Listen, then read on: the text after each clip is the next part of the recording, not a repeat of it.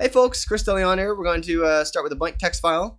We're going to make a quick game today. This one's going to be a snake-like game, uh, and that's going to be the kind of game that used to be on cell phones before smartphones, since I'm a dinosaur. But the original version of the snake game was also our arcade or PC game or something from the 70s. Uh, so okay, so we're going into here. We're going to do canvas equals uh, document dot get element by ID. It's most verbose and ugly where we have to be doing a little bit of interaction between the HTML and the JavaScript. Um, once we get this stuff sort of set up, it's not so bad. Uh, get context, that's going to go graphics context or buffer, and then we've got uh, document.add event listener. Let's set up our keyboard hooks. Key down is all we really need since this game has momentum, like a function called key push, if I can spell push correctly. Uh, let's go and get that stub set up, as well as uh, start off our game on interval timer to call a game function 15 times every second. That's milliseconds, so we're dividing it into it. And using low frame rate, since Snake works on a very low frame rate, we're going to have x velocity and y velocity values for our Snake. Part of the thing about Snake game, right, is that you just push the keys to make the character move, and it keeps on moving with momentum. Uh, we're going to switch on the key codes. Some people don't like switch cases. I don't like some people. But more importantly, uh, key codes in particular are a great case for switch cases. It's kind of a natural fit, like peas and carrots. And uh, I'm also going to say, even though I don't have all the codes memorized because I'm not a nerd, okay, I'm not, I'm a nerd. I'm not that much of a nerd. Um, but after a thousand hours training people one on one game development stuff, you start to figure out that like 37 through 40 is the arrow keys and it's left and then clockwise because uh, you need the kind of stuff on top of your head when you're walking people through stuff on Skype. So, okay, so there's our input now handled. We also want to have our player positions equals py equals, let's start in the middle of the world. I'm thinking the middle world because I'm thinking 20 by 20. So grid size and tile count will both be 20 because 20 times 20 is 400. And let's also have an Apple X and an Apple Y as our goal, which will start at 1515 just to keep things simple. So player X is going to plus equal X velocity, and then player Y is going to plus equal Y velocity. To implement some wrap for those, so if PX is goes less than zero, uh, some some Snake games wrap, some games of Snake don't. This game is going to wrap. Uh, so you know, there it is. Now, again, I'm gonna warn. I can't say it enough times because no matter how times I mentioned the previous video, people still like seem to got confused.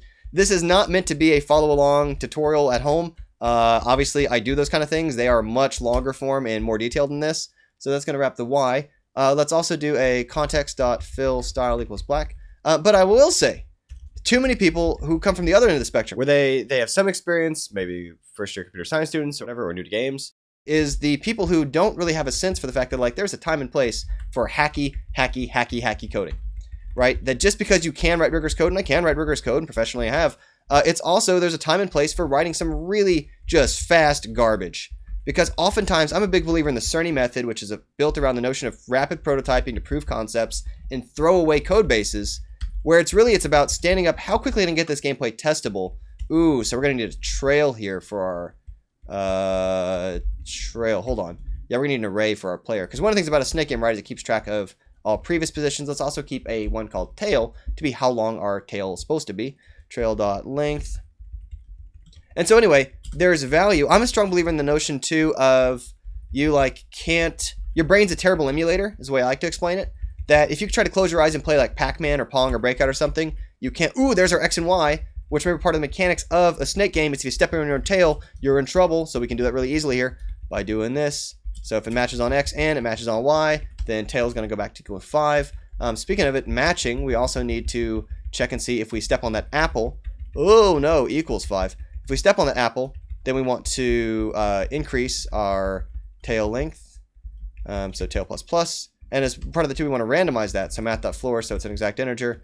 Uh, and this is going to be math.random, which is 0 to 1 times tile count on each axis. Uh, part of where I also got these sort of very, very rapid hacky demonstration techniques background. Uh, oh, we also still need to pile this on trail.push, I'm going to, I, for the most part, I'm trying to show some kind of language agnostic code. One exception here will be this rapid instantiation of an object literal. It's going to help us out here a little. Also, we're going to trim down the tail, so if tail.length is greater than tail after being penalized, it'll shave it back down and also keep it a consistent length as we play by shifting it off the end. Okay, so I think that's it for the code. Uh, game.html.